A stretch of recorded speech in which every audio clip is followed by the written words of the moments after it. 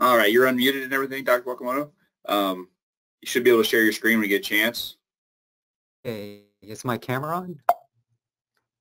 Uh, so Maybe I far, I don't don't need- see. Maybe I don't need it, but let me see.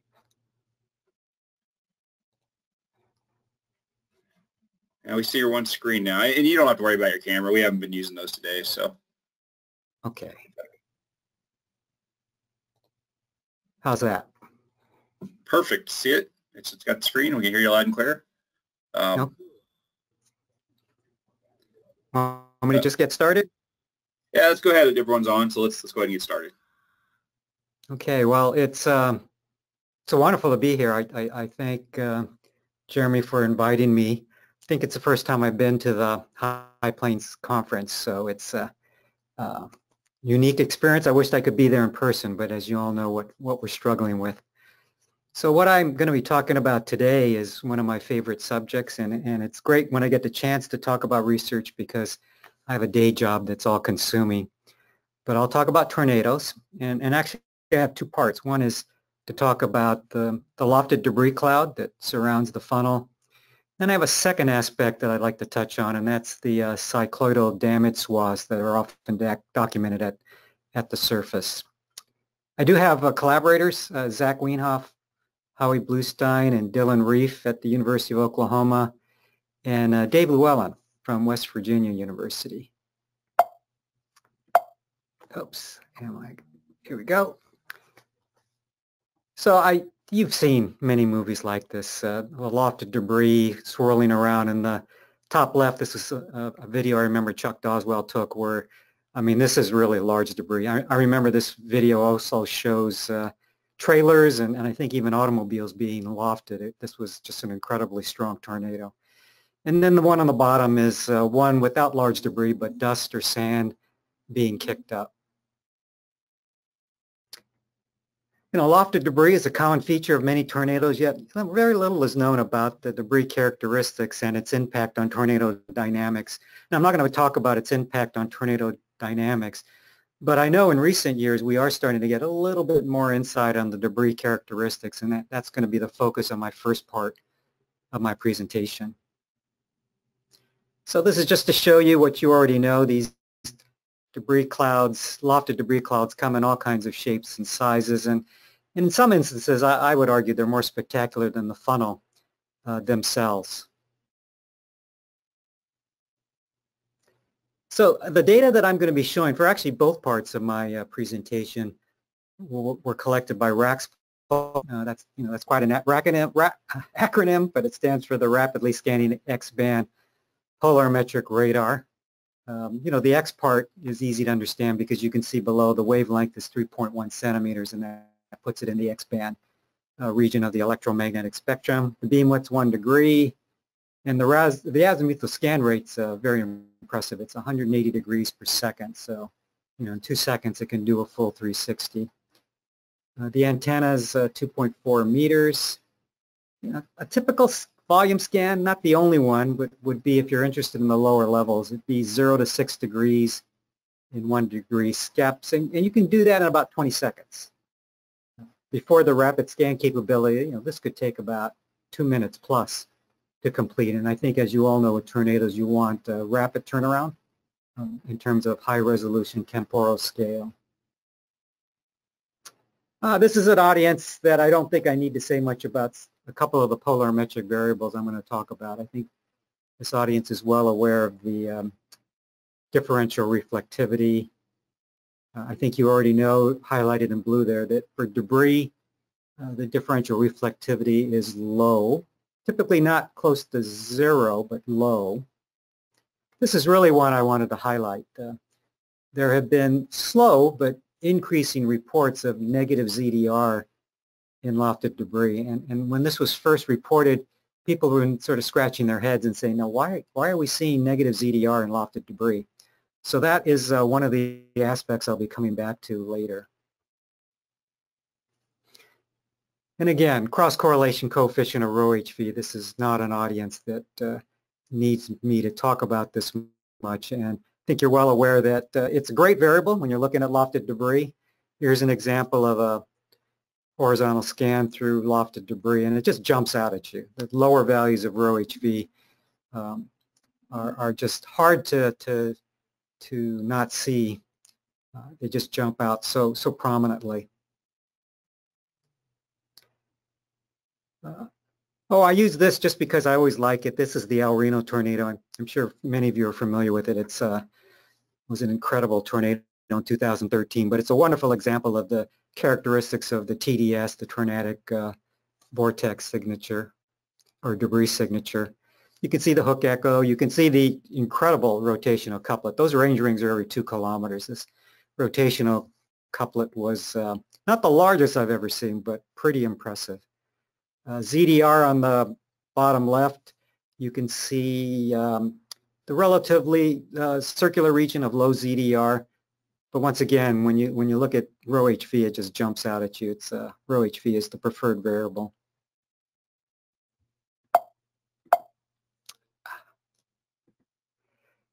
Oh, I have to thank Dylan Reif. Uh, he, all the years I've been doing severe storm research, finally someone uh, took a picture of me with a tornado right there, and I'm actually taking a picture of that tornado. It is what I'm going to be talking about today. That's the Dodge City tornadoes of a few years ago.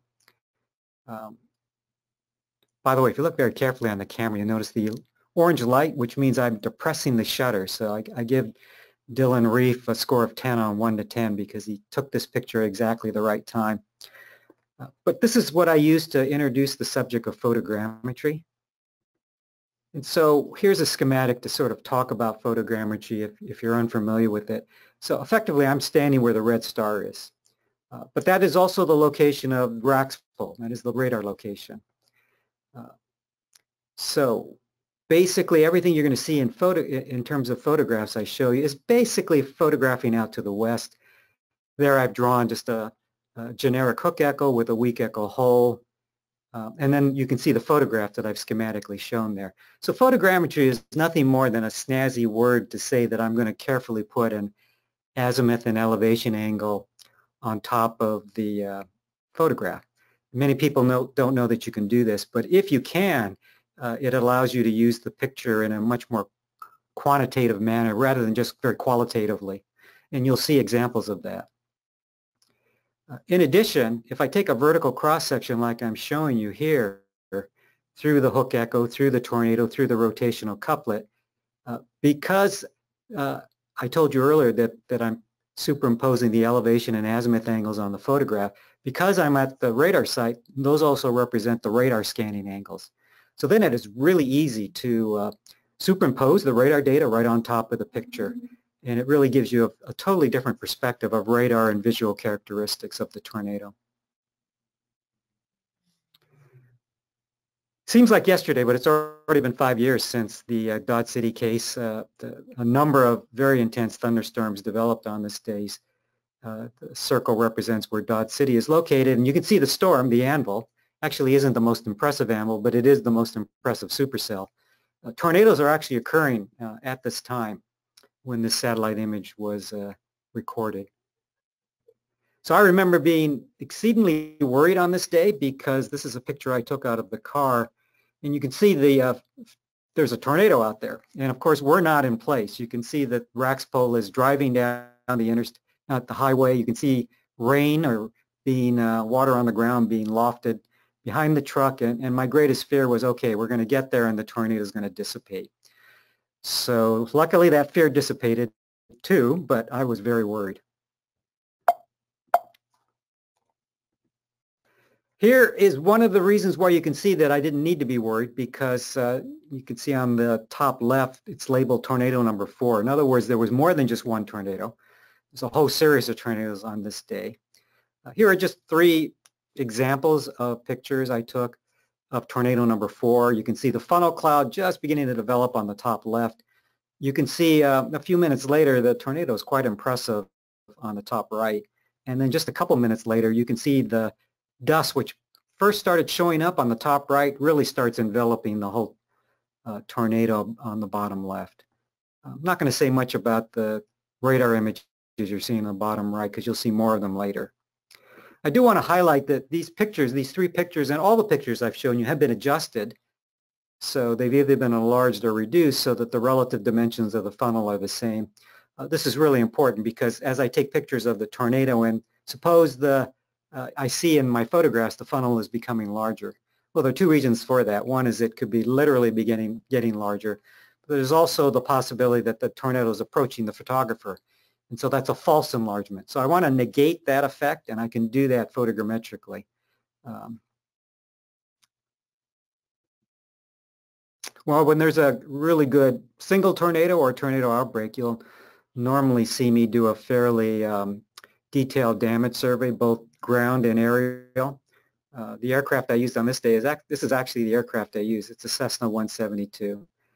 Uh, and here's one of the uh, several images I'll show you. I, I, maybe you see the tornado track. I think it's pretty obvious, like highlighting it in light blue. One of the for fortunate things about the Dodge City tornadoes is, is they occurred predominantly in open fields going over wheat fields, dirt fields, grass fields. There was only one building that it, it actually made a direct hit on and, and just demolished it. And uh, nobody died, thank heavens, but uh, there were some injuries. But other than that, it was this is very typical of where the tornadoes, uh, uh the type of ground that they went over, just open areas, missing structures. There were structures there, but the tornado missed them. Uh, I'm showing you this because it, it's actually one of the more dramatic uh, photographs I've taken of the tornado track. I mean, it, you can anyone can see where the track is. In this case, it's core. The tornado core is about 80 meters in uh, diameter. It's just, in fact, when I first looked at it, I said that can't be right. But then I realized, no, that is the tornado. Uh, let me sort of enlarge this section of the tornado and um, one, it just shows you the detail uh, within this tornado track. But if you look very carefully, you start seeing the cycloidal swath mark, something I'm going to talk about uh, in the second half of my presentation. Oh, just another example. Uh, the image on left and right are exactly the same. All I've done on the right is highlight the track with the light blue line, but I probably didn't have to do that. I think you can see it on the left. Ten tornadoes occurred west of Dodge City, and here they all are. Since that image is a little small, I'm going to enlarge it and focus in on the area that is of most interest. Uh, very fortunate that it's west of Dodge City. If, if, these tornadoes had gone through Dodge City, it would have been a very different story. There would have been quite a bit of devastation. Uh, notice uh, RAXPOL, it set up at two locations, Site 1 and Site 2.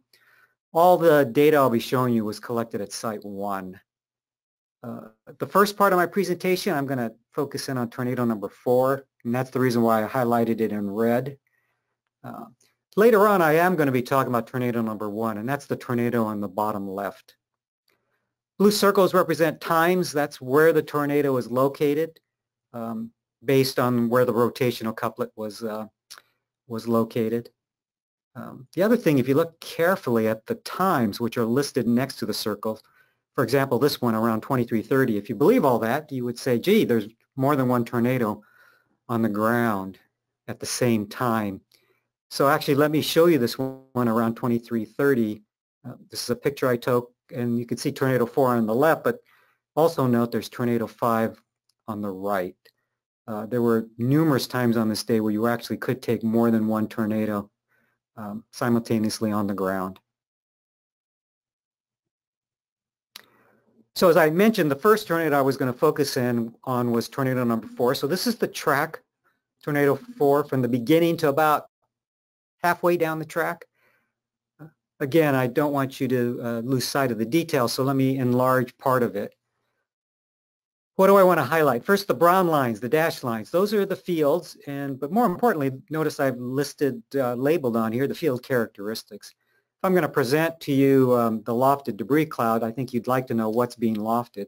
Well, I can tell you that because of the aerial survey. I know exactly what the, uh, as of that day, what the field characteristics were.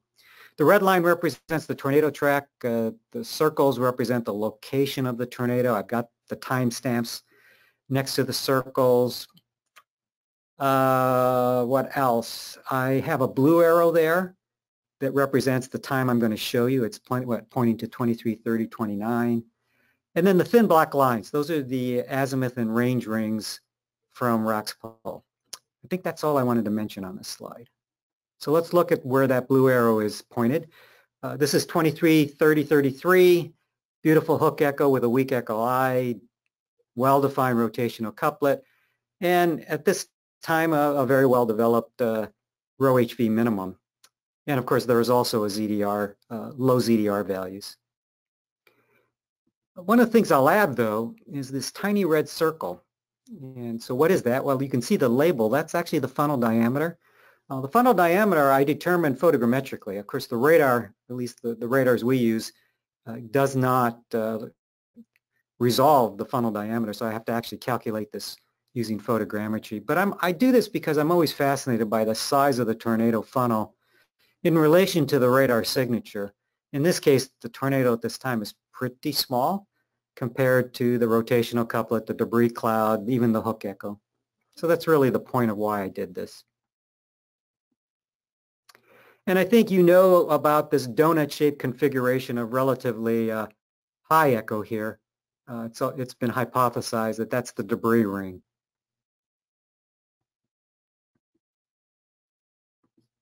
So here is the photograph of the tornado at this time. Uh, it's pretty well developed. Uh, you notice that I performed a photogrammetric analysis because I've got the elevation and azimuth grid on top of it. Remember, I'm essentially standing at the radar site, so these also represent the radar scanning angles. It is then pretty easy to do a vertical cross-section, in this case of radar reflectivity, through the center of the tornado and actually plot it accurately on this photograph. Shaded blue is less than 20 dBz, so where the tornado is, you see what WEC means, the weak echo column. Uh, and of course, it's pretty much centered on the tornado but it's giving you a better view of the relationship with this weak echo column and the visible tornado. Notice also the, these areas at low levels of the higher reflectivity. That's that donut-shaped high reflectivity or tube, tube-shaped high reflectivity ring, which is the debris ring. Uh, let me show you Doppler velocities. Uh, the green represents velocities away from the radar. The red represents velocities toward the radar. Shaded green and shaded red are velocities greater than 50 meters per second. Uh, and by the way, the green literally represents velocities into the picture and red represents velocities out of the picture. Uh, and that is the correct interpretation uh, if the photogrammetry is done correctly. So here you're getting a, a, depiction of the vertical cross-section of the rotational couplet and its relationship uh, with the tornado. A view that you don't often see. And now this is maybe the first time you've ever seen something like this. This is now the vertical cross-section of cross-correlation coefficient of rho HV uh, through the tornado. So first off, uh, you can see that there's a, gen in general, there's a column of low rho HV. The shaded red is less than 0.4, so that's the very low values. But, but backing off, there's just a column of low rho HV. One of the things I want to highlight is that visually you don't see debris, but the cross-correlation coefficient is telling you there is debris there. It's just uh, not being, being detected by your eye.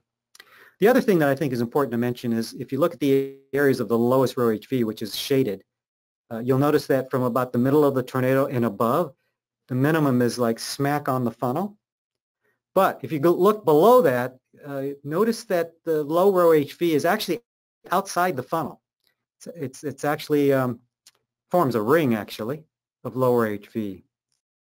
Uh, now I hope this isn't too confusing, but I wanted to superimpose the radar echoes and the rho HV on top of each other.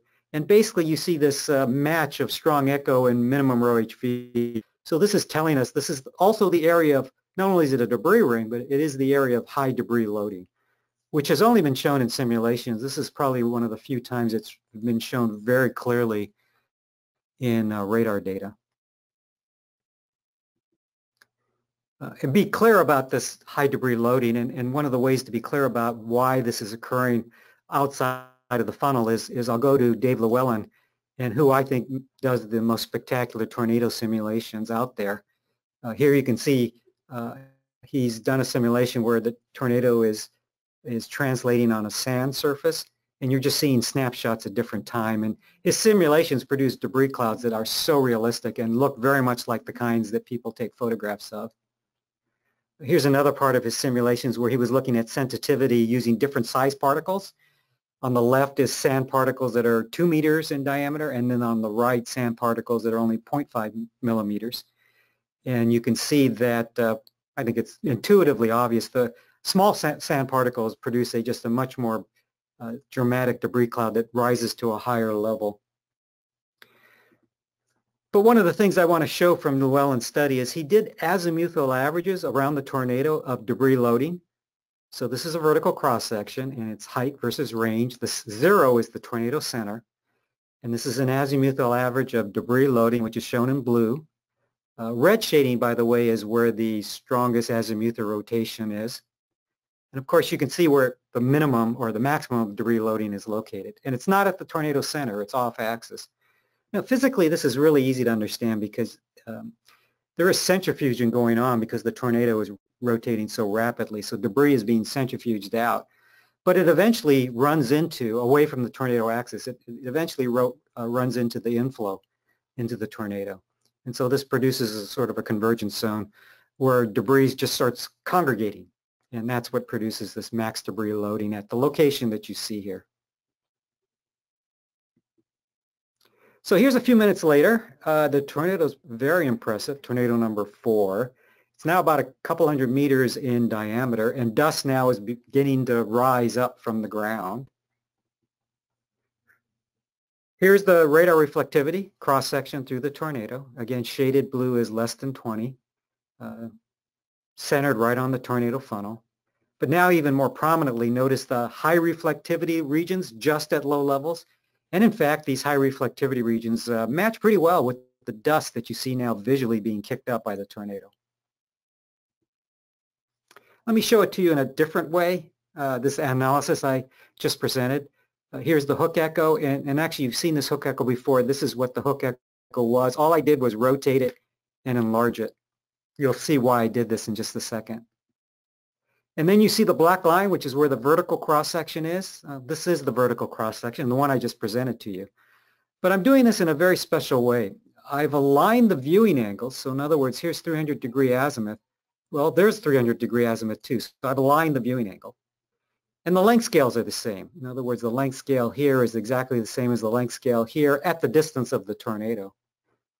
So if I do this correctly, uh, I, I, this is literally the way this tornado and the funnel fits into this hook echo. So once again, you're getting an example of the size of the tornado and actually how it relates uh, in size physically to the hook echo radar signature. It's, it's a view that is rarely shown, but I think you, you can learn a lot from that. And now here's the vertical cross-section of rho HV. Maybe more prominently now, you see this minimum of rho HV because the shaded red is less than 0.4 centered more or less on the tornado. But once again, notice uh, at the lowest levels, it's different. The, the really low values of rho-HV are outside of the funnel. Uh, and once again, more or less centered right on the visible uh, dust that's being kicked up at low levels. In between those two areas, the rho-HV is actually higher because it's not shaded. And now here's my first uh, presentation and maybe your first view ever of a vertical cross-section of ZDR through a tornado. So green represents positive ZDR. Uh, shaded green is greater than plus 3 dB. So uh, basically these shaded regions are large raindrops. But the red areas that are centered on the tornado, uh, that is negative ZDR. And the shaded red is actually less than minus 3 dB. So this is really low ZDR, it's low negative ZDR. It's pretty much centered on the tornado. It's a very coherent feature, um, and it shows up as a column. So this is not just a, some sort of spurious thing that you see at one elevation angle. In this case, it's very coherent at all elevation angles. So what's going on? And why is it centered on the tornado? So it turns out while I was doing this analysis, the people at Oklahoma were doing what they called a polarimetric radar simulator. And it's actually just what it says. It's a radar simulator that simulates a polarimetric characteristics of what you should see if you had a radar scanning scanning the tornado in this case. So this is a vertical cross-section you can see. You can basically interpret the blue as uh, the tornado funnel. Uh, but at the bottom, notice all these colored red. Uh, that's debris that they've released into the tornado. Uh, not only that, the red color tells you that it's negative ZDR. Um, they say the reason why it's negative ZDR is there's common debris alignment. And finally, what did they release into this tornado? In the simulator, they released leaves. So what is going on? And so negative ZDR is, as we're beginning to find out, is not so uncommon. Uh, what it means is, and this is what they talk about, is that the lofted leaves are doing this. They're actually oriented vertically. And of course, if they orient vertically, you get more return vertically polarized than horizontally polarized. So that, yeah, this will give you a negative ZDR. So moving back to this Dodge City tornado number four, I, I want to just jump to my schematic model. There's a lot in the schematic model. I just want to highlight two things. One is the black box in the center of the tornado, which I'm enlarging on the right. You can see I have debris particles, which are colored red. But I also have these green lines up and down. So what is that? Well, that's actually wheat stems, and I'm purposely orienting them vertically because I think that's what's going on. There's common debris alignment occurring. Now, why did I think these are wheat stems? Because once again, remember I'm doing the survey, and this is the track of Tornado 4, which I think you see the track. And, and basically, this tornado went over wheat fields and dirt fields. So there's no question that this tornado ripped up a lot of wheat stems and, and lofted them up in the tornado. And given the negative ZDR, given the radar polarimetric simulator, uh, these this uh, wheat stems are obviously oriented vertically. It's kind of amazing. I never would have guessed that ahead of time. So this is what I'm saying with the first bullet here. Uh, in the weak echo column, you see wheat stems that are vertically uh, oriented. Uh, the second thing is I talk about these this area of uh, max debris loading at low levels, which shows up on the schematic as these big red debris particles that I have highlighted, and also the area that says high debris loading. So that's the conclusion of my first story, part one. And now I'd like to skip over to the second part of my story, and that's cycloidal debris marks, which I've often thought about. And I can't introduce the subject without talking about Ted Fujita. And of course, you know that um, uh, he was known as Mr. Tornado. Uh, and two reasons for that, not only because he contributed so much for our understanding of tornadoes, but if you knew him personally, and I'm going to guess a few people maybe in the audience uh, had the pleasure of meeting him or seeing him make a presentation, but it also does a wonderful job of explaining his personality. He was sort of a whirlwind of activity. Uh, just three bullets of some of uh, uh, just a long list of his accomplishments. I think you all know he developed the F scale, the Fujita scale. Uh, it's a damage intensity scale. It's not a wind scale, which is often the misconception about the F scale. And of course, you know it's been modified to EF scale. there's actually a story about that that I was involved with. I'm happy to answer uh, answer what story goes with that if someone is interested at the end of the seminar. Uh, of course, you all know he discovered the microburst phenomenon, uh, the wind shear event, and, and I really want to emphasize if he hadn't done that and had he not contributed to improved pilot training, uh, I think thousands and thousands of more people would have died in these aircraft accidents. So we really owe him a great deal uh, to that. And then for this presentation, he elevated damage surveys to just another level. Uh, I mean, uh, just an order of magnitude improvement of damage surveys in the aftermath of tornadoes. So uh, with that little bit of a segue, which I think is still important because Fujita will come back in my presentation, uh, we've known, even before Fujita became involved in severe storm re research, it's been well documented that in the aftermath of tornadoes, we see cycloidal, sometimes see cycloidal damage tracks, as you see here. And of course, it does tell you a lot. Um, tells you the width of the tornado core, as I'm showing you with the dashed white lines. But it also tells you the tornado movement if you know which way the tornado is rotating. So if you knew the tornado was rotating cyclonically, I can tell you right now there's no question the tornado is moving left to right, even if you never saw the tornado.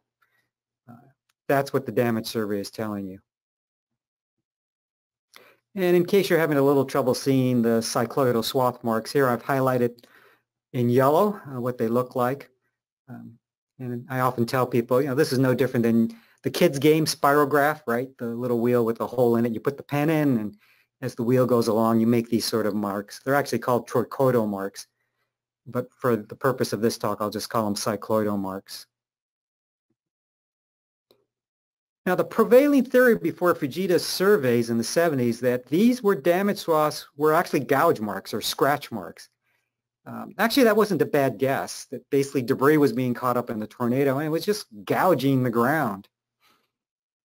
Well, one of Fujita's great contributions was he said, well, wait a minute, uh, based on my area surveys and ground surveys, this doesn't make sense. And so how did he come to this conclusion? Well, here's pictures that he took of, uh, you can see the cycloidal swath marks on the top left. And all I've done on the bottom, it's the same picture, but I've, I've highlighted with yellow lines those cycloidal swath marks in case you can't see them. And then in a very famous study, Fujita went down to the ground and said, well, wait a minute, these are not gouge marks. If you look very carefully at one of these marks, this is uh, an area where um, debris is being collected, and he, he actually said by some sort of suction process. You, in this case, this was corn stubble, and you can see all of the corn stubble has been collected in a line, and that's what's producing the cycloidal swath mark. Now, he, he did this, and it was, I think it's pretty obvious, but he did a, another thing that was a monumental leap, and it's just the way Fujita's mind worked. He said, okay, here are these cycloidal damage tracks. Uh, I've shown that actually these are not gouge marks. These are areas where debris, these are debris lines basically. And there's some, some sort of suction process that's putting together the debris in this line. So from this, and without visual evidence of tornadoes, he came up with this really famous model. But I want to emphasize that this was really absent visual, visual documentation. And there are two parts of his model. One that uh, he called them suction vortices, that tornadoes could break down into these multiple vortices all rotating around a common core. And, and you guys all know this. But he also had a second part of this model, that these suction vortices were creating these cycloidal debris swaths. Uh, maybe you didn't know that at the time he did this because this model shown here is, is, is, is in so many textbooks I've lost count. But I want to remind you that there was enormous pushback by the severe storms community when he presented this model. Because surprisingly, even though he, he came up with this model in the 70s, and remember, people have taken pictures of tornadoes well before the 70s, but for whatever reason, there, there were no known documented photographs that actually showed this multiple vortex phenomena. So, uh, you know, people in the severe storms community uh, actually said, you know, this is malarkey. This doesn't happen. And, and the main reason they criticized Fujita was if it does happen, show me a picture. Well, Fujita didn't have any pictures, but he still stood by this model. So again, for those who don't know the history, this is literally the way it was playing out. But you all know the end of the story. By the mid-70s, and it was about the mid-70s, suddenly all these photographs and videos showed this multiple vortex or suction vortex phenomena. Whether it's the movie on the bottom left by Reed Timmer or whether it's a photograph, I think it was by Floyd Stiles of the Wichita Falls tornado, it, it became, the evidence became overwhelming that this multiple vortex uh, phenomenon occurred. So Fujita felt vindicated, uh, which was wonderful. And Fujita did tend to, uh, though he, he, tended to stretch his theories a little bit, time usually uh, proved him right in many of the hypotheses he came up with. But there's one aspect of uh, that I wanted to revisit, not, not the suction vortice or the, the multiple vortex phenomena, there was something that always troubled me a little bit about the cycloidal damage swaths at the surface. And so even though this has been an accepted model for 50 years, I wanted to revisit it. By the way, before I go on to the analysis of Dodge City, one of the questions you might ask, well, you mean that gouge marks never occur that show up as cycloidal damage marks? Well, I don't want to leave you with that opinion. On the top are cycloidal debris swaths, very similar to what I showed you earlier. So these are debris lines. But on the bottom are actually gouge marks. And let me highlight for both top and bottom images what they look like. Uh, the gouge marks on the bottom look beautiful. I mean, they're beautiful cycloidal marks. Uh, but there is one subtle thing that I want to point out, that it's not continuous. And actually, when I think about it, that makes sense to me. If something's being picked up, like, I don't know, some big 2 by 4 or maybe 4 by 4 picked up by a tornado, and it's actually being dragged along the line. I actually would expect it to sort of skip a little bit, you know, maybe make contact with the ground, may go up in the tornado, or tumble a little bit. And so the fact that you see sporadic gouge marks makes sense to me. But anyway, I wanted to answer the question that yes, you do see gouge marks. Yes, they sometimes produce cycloidal marks, but they are not that common. The top photograph is much more common. So the Dodge City outbreak did provide an opportunity to revisit Fujita's model. Maybe somewhat surprisingly if I, that I make this statement, this is the first time that mobile radar data, video and pictures, and a damage survey that confirmed the existence of cycloidal debris swaths has been simultaneously collected. It's just never happened before. And I know with all the mobile radar platforms out there, all the pictures people take, and all the surveys people make, you, you would have thought that it all would have come together previously. But no, Dodge City was the first time this ever occurred. And these are examples of the kinds of cycloidal swath marks that uh, actually Tornado 1 produced in dirt fields. I think you see them pretty uh, prominently. Uh, the white box on the left is the area that I'm really going to focus in on. Uh, this is Tornado 1. Uh, you can see uh, it's labeled, and Tornado 4, of course, is in the top middle of this figure. So you've already seen my analysis of Tornado 4. Uh, the other thing I'll mention is that all of the analysis uh, in the area that I'm looking at is basically due west of where RaXPol is located. So this is the white box that I'm showing you here. It's enlarged. Uh, and even though it's enlarged, I want to enlarge it even more so you really can see the details. Okay, so uh, let's see. The gray thin lines are the range and azimuth lines. Uh, I think you can see that. And notice there's a 270 degrees. I told you it was due west. Uh, the brown lines and the dashed lines, those are the dirt fields, or those are the fields. And not surprisingly, it's all dirt um, because that uh, these kind of cycloidal marks typically occur most prominently in dirt fields. And that's what tornado went through in this general area. The red line is the tornado track. Uh, the blue circles are the location of the tornado with timestamps. Uh, the magenta circles, those, that's actually the funnel diameter. Uh, that was determined photogrammetrically. Again, the radar can't tell you the photo uh, funnel diameter. Uh, green lines, you see there are a few green lines in there. That's the twisted irrigation pipes. I mean, it just mangled these irrigation pipes. I decided to plot the exact locations. and then most importantly are the white semicircular lines. Those are the cycloidal debris swaths, uh, and they are accurately plotted. This is not an estimate, and I'm not just plotting lines arbitrarily. Uh, each one of these swaths are very accurately plotted on this figure. Here's an example of, uh, with a little bit more analysis there. On the top, you see the cycloidal swath marks. You see the red line, which is the tornado path. The blue circles represent the location of the tornado at those times. And again, to help you out on the bottom, I have uh, put yellow uh, lines to highlight the numerous numbers of cycloidal swath marks um, that occurred on the top figure. And then the white line, and, and, if you don't like the white line, just look at the top figure. You can see what I mean by these mangled uh, irrigation pipes. I'm not going to talk about the black circles. Um, it's an interesting story there, but for this talk, I think I'm skipping that. So this is again the same box you saw earlier. Uh, the only difference, instead of a red line, the tornado track is a white line. And instead of white semicircular uh, marks, I, I, highlighted them in black. But you can see the cycloidal uh, damage swaths.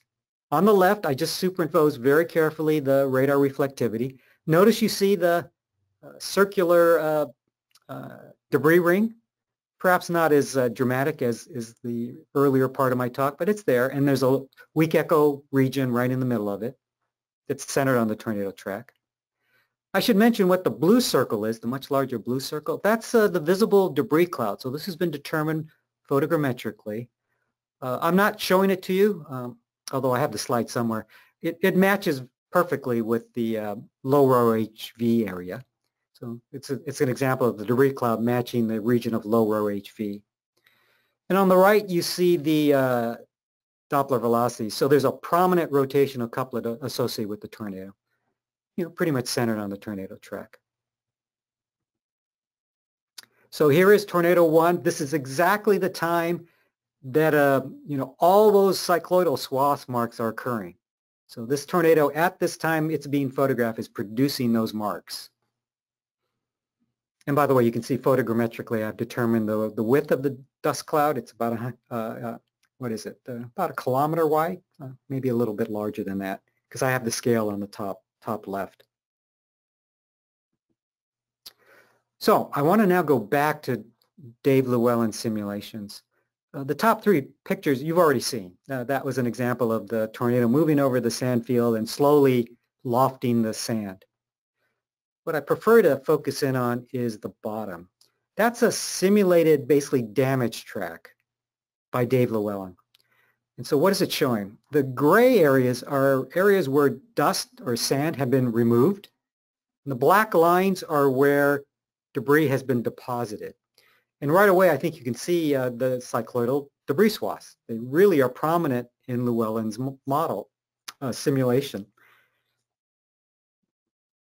In fact, uh, uh, on the bottom is one of Dave Lewellen's simulations. I chose this one because the parameters of the simulation are pretty close to the Dodge City case. But let me start at the top. There are those cycloidal uh, swath marks. Uh, but first off, I want to highlight that 270 meter uh, diameter region, that width. Why am I highlighting that? And what do the dashed blue lines represent? Well, if you look very carefully, you'll notice that uh, this it's light brown here and it's dark brown here. Uh, there's a reason for that. Um, the light brown area is where dirt has been removed by the tornado. And it's well known that this dirt is removed in, in a region much larger than the tornado core. And it's, and it's, it's probably one of the best examples of an aerial survey photograph that illustrates this. You can see the tornado core in the middle of the picture, but this where dirt is being removed is much larger and it's occurring over a width of 270 meters. Now what I did was simply superimpose those dashed blue lines on the photograph below.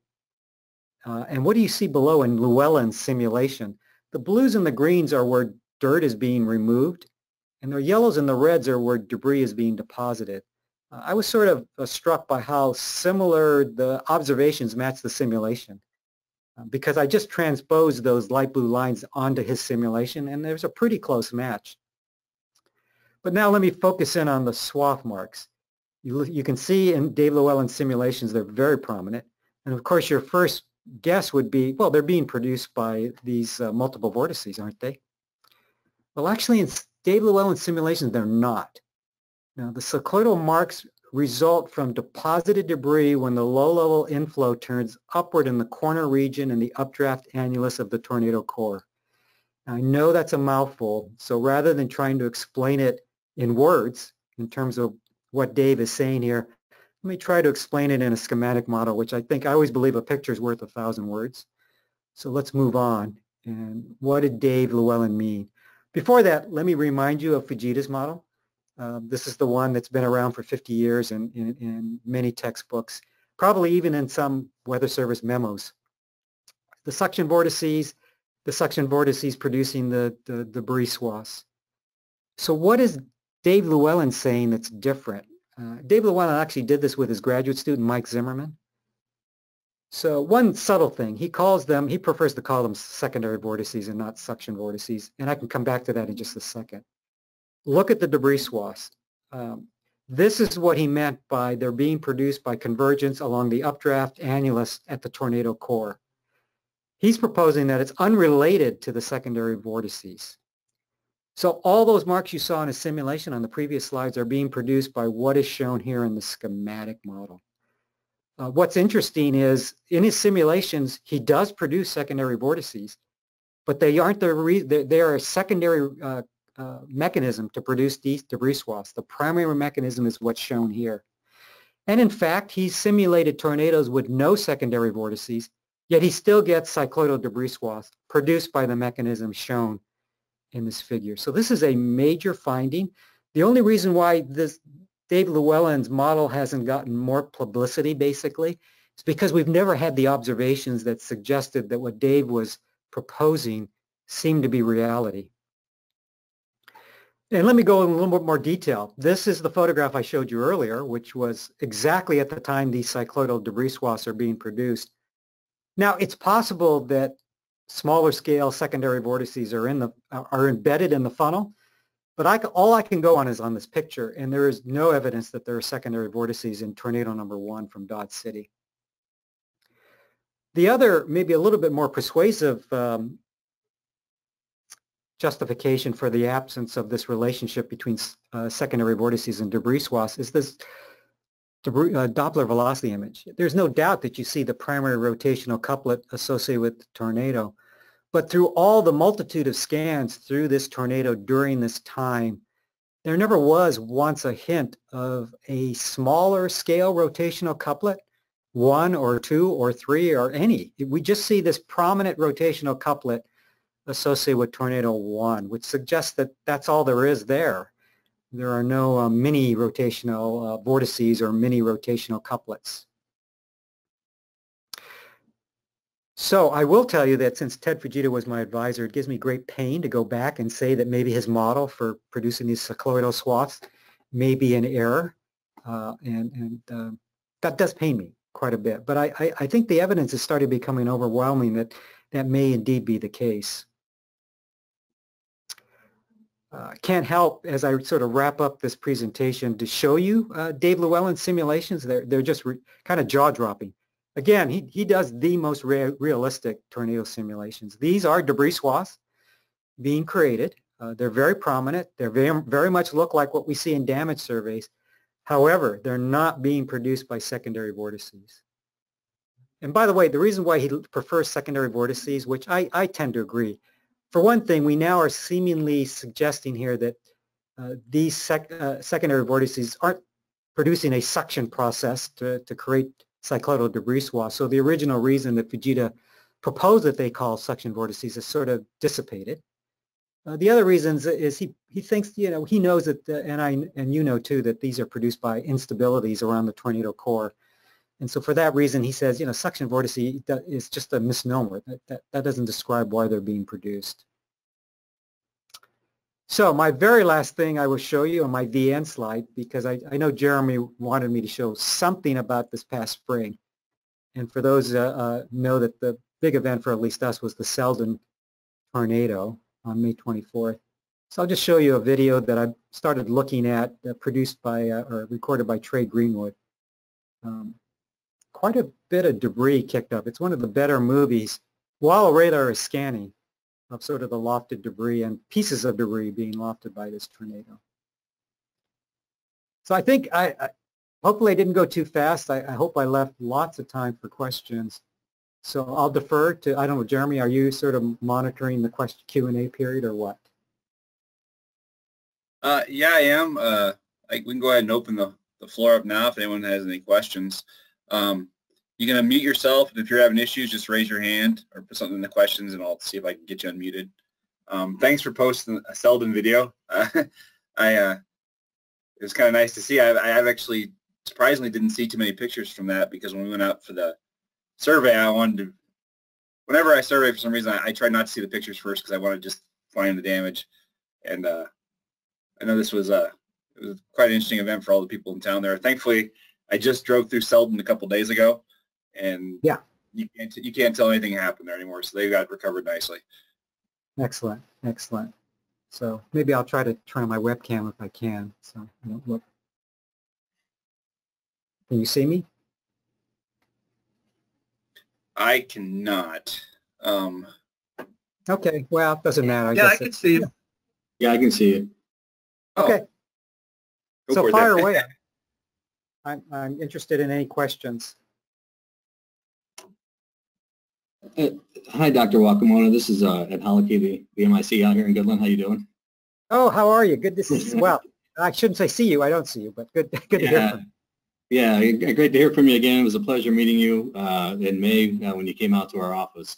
Uh, just a quick question on, on related to Selden. Uh, when do you think you might be able to get the uh, data from the Selden uh, tornado, make it available for maybe some others to take a look at that? Yeah, so you know, that, that is being basically cleaned up by Howie Bluestein, and, and that's still ongoing.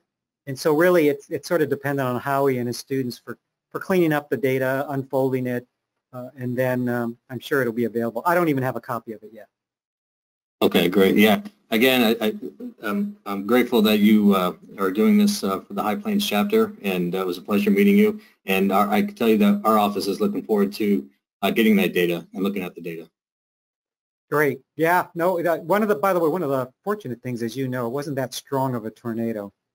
Uh, had it been strong, uh, we, we might have gotten a much different result in Selden. Yep. Uh, again, thank you very much.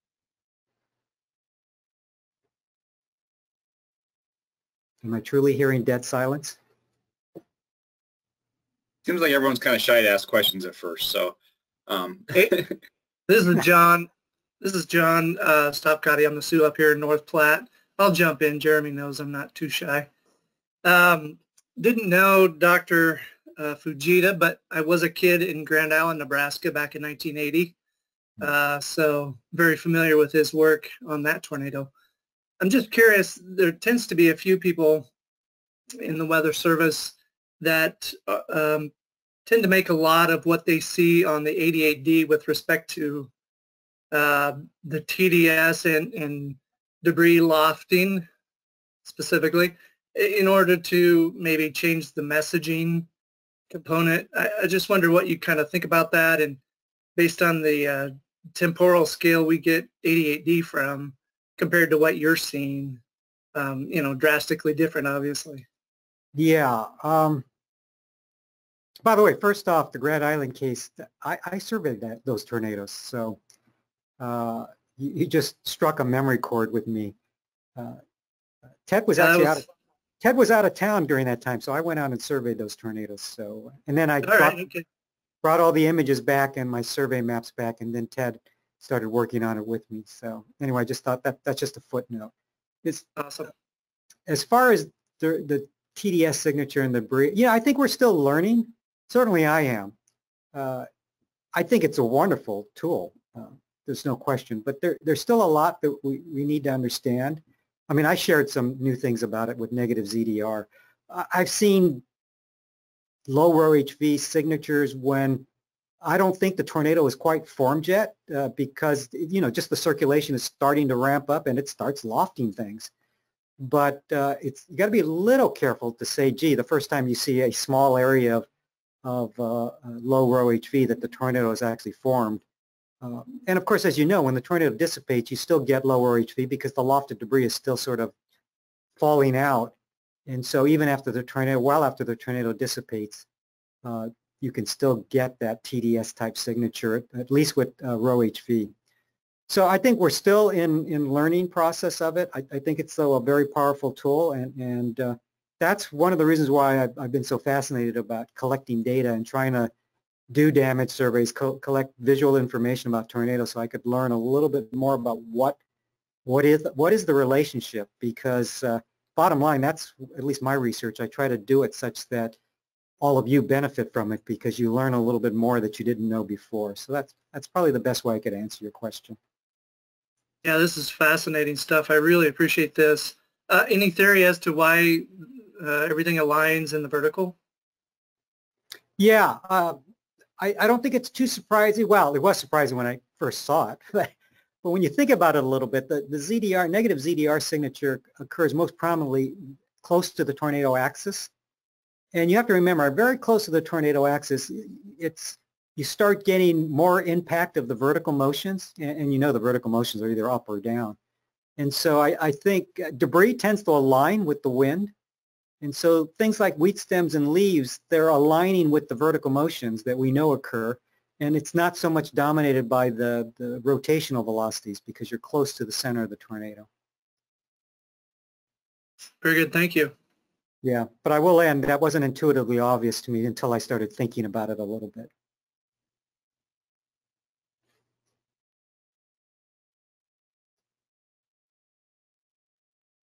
you know, John, you mentioned something with the uh, TDSs and stuff. I think I'm correct on this. I, I need to, I may have missed one, but I, th- I believe this storm was the first TDS we've ever had observable on our 88D since we've had dual pol. Um, Oh, really? yeah, thankfully most of our, you know, we've been kind of in a lull for tornadoes anyway. Um, but then the ones we did have generally didn't do any damage, but this was, this was the first and amazing. We went, we went from having none to we had this one, and then two days later we had, I think, yeah, it was two days later, Benkelman and the one up by, uh, oh, Rawlins County. I can't remember exactly where it was at, but um, so we went from having none to having a couple. Um, in span of a couple Yeah. days. Well, of course, one of the things, W8, uh, WSR 88Ds are wonderful, but one of the things I've learned is these mobile radars get really close. just show you detail that uh, unfortunately isn't replicated in, in the 88Ds. Yeah, I think uh, I can't remember when I saw this. Some someone did a, I believe it was a during VORTEX2, a comparison of what one of the DOWs was seeing versus what the 88D was, and you know, Yeah. well, what fits into two pixels of our radar was this, you know, this amazing reflectivity structure and all that stuff. So it's always kind of humbling to see the, the mobile mobile radar is just what we don't know when we're out here on operations, what's going on. Yes, yes, absolutely. Hey, this is uh, Roger Dunwich. I had a quick question. Sure. Hey, uh, first of all, like others, I, I appreciate the. It's always fascinating to hear research like this. Um, yeah, I was really fascinated when you showed like with the ZDR and, and kind of even going back to John's question, you know, the the debris alignment. Um, and, and hopefully this isn't a, a silly question, but um, if if you see, so you you showed kind of those areas of the negative ZDR, and then and then in that schematic you showed there were some where you know you'd shaded where it was even not only negative but even further negative. What, is there any research or any any possibility that that from a um, would suggest like uh, more negative the the stronger the vertical motion, um, or is it just kind of it, it hits a point where it's really not going to go much more negative? Um, I guess just in the way again because the alignment there. Um, Well, just curious no, if you uh, that. Yeah, no, it's not a silly question. I mean, it, I mean, it's a good question. Why, why are these pockets of very minimum ZDR are being produced? Uh, I mean, it is telling you something. It is telling you that those are where perhaps the bigger, biggest, in the case of leaves or whatever, the, the or wheat stems, those are where the bigger stems or leaves are located. And and I think it's an interesting question to say why are they congregating in that particular location? Uh, I don't have a good uh, feeling for that right now, and it could be just transient. You know, you know, maybe we'll try to see more in it than there is because, I mean, you can imagine there are going to be clumps of debris inside the tornado, and it could be just a transient feature, and there's nothing physically that that is explaining it. But there might be. Um, but I don't. Uh, but that's really why that would occur, I think, and um, I don't have a good answer for it. Okay, thank you.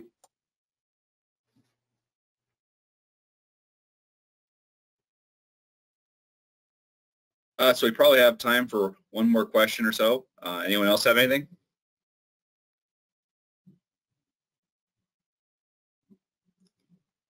If not, I guess you mentioned something uh, during your talk that you bring up about the enhanced Fujita scale. I guess we have some time. Do you want to? Oh, the Uh, story behind that?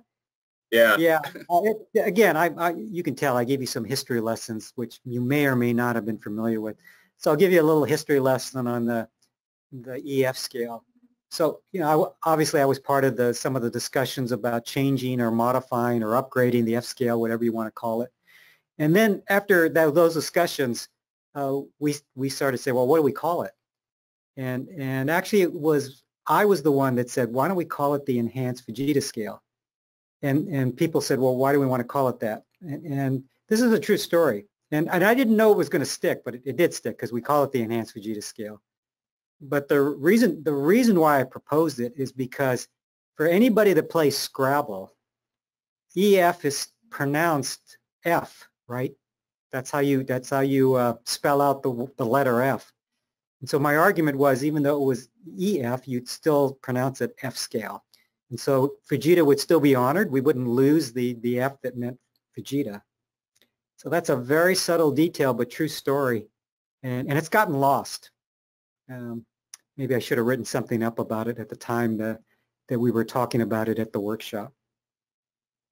So I don't know if that's kind of an amusing side story, but it, but it's a true story.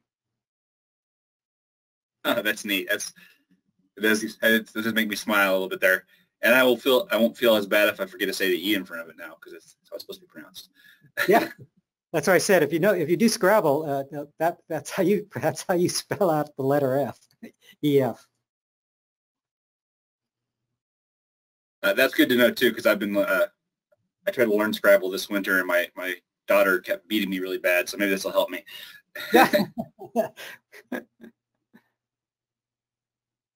All right. Well, thank you so much for your time. This was, this was an excellent talk, Dr. Wakimoto, and uh, it's an honor to have you speak with us. Um, Well, I, was gonna, I was going to mention something beforehand.